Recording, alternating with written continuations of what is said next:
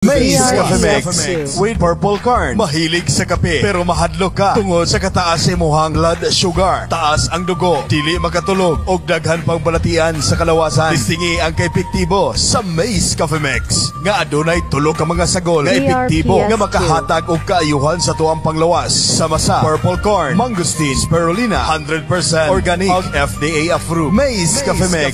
Mapalit sa MD Drug, Ariola Pharmacy, UEMM Drug, Princess Diaz, 3M Pharmacy, J.K. Salazar.